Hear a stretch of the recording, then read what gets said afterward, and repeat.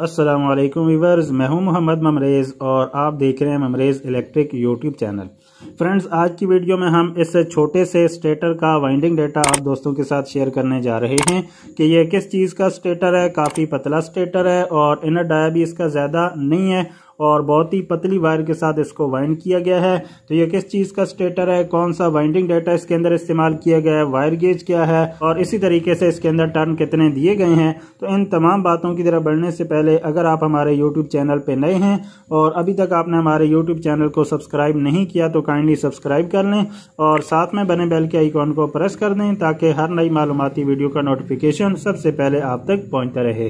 तो आइए बढ़ते हैं आज की इंटरेस्टिंग वीडियो की तरफ़। तो फ्रेंड, जैसा कि यहाँ पे आप देख सकते हैं कि ये एक छोटा सा स्टेटर है मेरे सामने।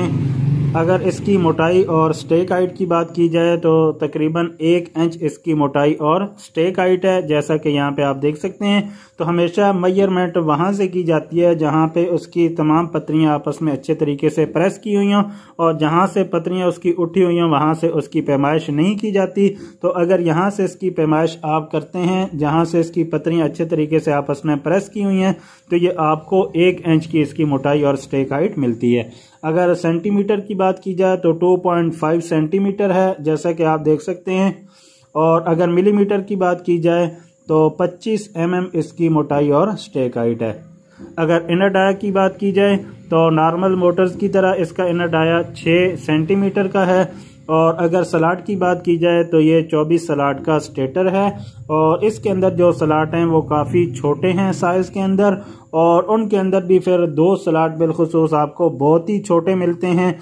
तो ऐसा जो स्टेटर होता है, जिसके सलाड की पैमाइश बहुत कम हो, यानी जिसके सलाड की गुलाई बहुत कम हो तो ऐसे स्टेटर को वाइंड करना थोड़ा सा मुश्किल होता है, क्योंकि वहाँ पे आपने ऐसी वायर गेज और ऐसे डेटा का इस्तेमाल करना होता है कि आपकी वायर भी उसके अंदर आ जाए और वो स्टेटर ज़्यादा हीट भी ना हो और अच्छे तरीके से वो चल सके।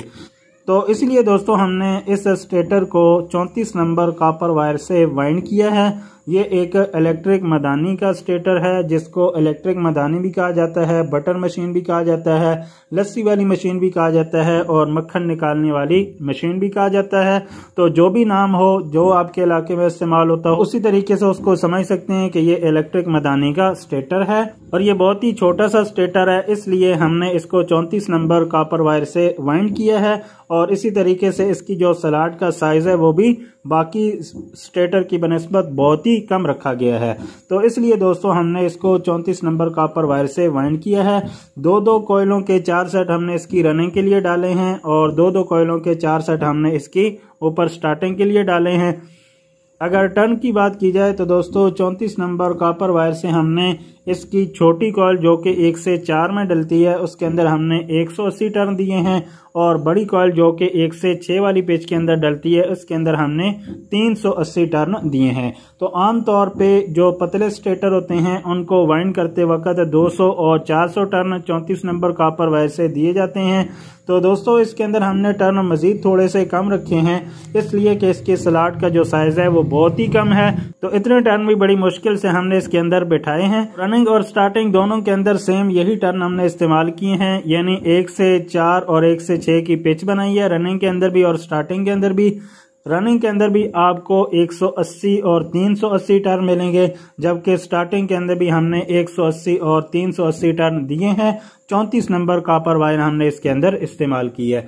अगर कनेक्शन की बात की जाए तो आम मोटर्स की तरह इसके अंदर कनेक्शन किया गया है, यानी एक से तीन वाला।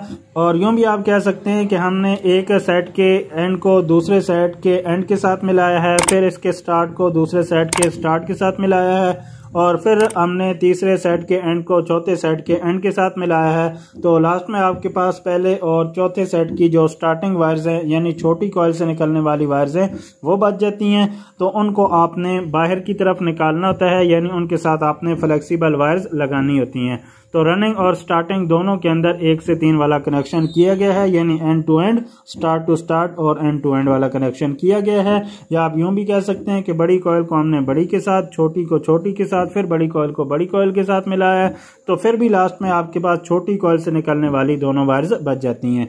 तो आप देख सकते हैं कि जो कॉमन वायर है, उसके साथ हमने ये ब्लैक कलर की वायर लगा दी है और बाकी रनिंग और स्टार्टिंग की एक एक वायर के साथ हमने रेड कलर की वायर लगा दी है और ये दोनों कैपेसिटर के साथ जाके लगेंगी।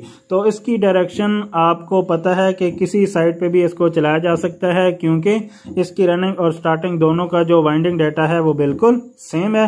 तो इसलिए इसके अंदर डायरेक्शन का कोई भी इशू होने वाला नहीं है। आप चाहें तो जो इसकी नीचे वाली वाइंडिंग है, उसके ऊपर भी इसकी डायरेक्शन को सीधा कर सकते हैं।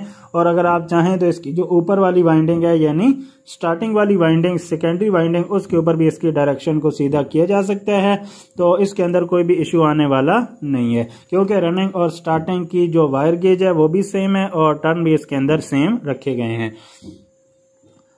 तो आई होप आज का ये इलेक्ट्रिक मैदानी का स्टेटर वाइंड करने का तरीका आप दोस्त सीख चुके होंगे और आप अच्छे तरीके से समझ चुके होंगे कि एक पतला और छोटे सलाटों वाला स्टेटर आपके पास आ जाता है। तो आप कौन सी वायर उसके अंदर दे सकते हैं और कितने टन आप उसके अंदर इस्तेमाल कर सकते हैं और इसी तरीके से किस तरह आप उसके कनेक्शन कर सकते हैं। तो आप देख सकते हैं कि बहुत अच्छे तरीके से हमने इसको वाइंड करके दोनों तरफ़ क्रॉस पेपर रखा हुआ है और क्रॉस पेपर रख के अच्छे तरीके से हमने इसकी टैपिंग कर दी है ताकि इसकी कोई भी वायर या इसका क्रॉस पेपर ऊपर की तरफ़ ना उठ सके। तो आई होप आज की ये वीडियो आप दोस्तों को ज़रूर पसंद आएगी। अगर वीडियो अच्छी लगे तो काइंडली इसे लाइक शेयर और कमेंट ज़रूर कीजिए ताकि हमारी हौसला अफजाई हो सके। अगर चैनल पे नए हैं तो चैनल को सब्सक्राइब कर दें बेल के आइकॉन को प्रेस कर दें ताकि हर मालूमती वीडियो आप तक पहुँचती रहे। तो आज के लिए इतना ही था। मिलते हैं फिर किसी नई इंटरेस्टिंग वीडियो के साथ। तब तक के लिए अल्लाह हाफिज़।